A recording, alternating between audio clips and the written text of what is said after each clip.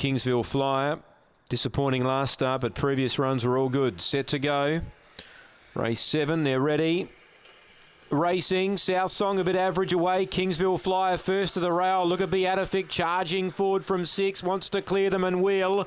Beatific charges away. Led by four. There was trouble. Victor Mikey went to second. Third, South Song. A gap then to Fabulous Ebony. Midfield from War Drum Express. Deep out Aston Carlos. Then Kingsville Flyer. Last Velocity Comet. A two dog race. Beatific by two. Victor Mikey running on. Beatific still got a handy lead though. And Beatific, who came out running tonight. Leads all the way and defeats Victor Mikey. Now, War Drum Express has stormed home.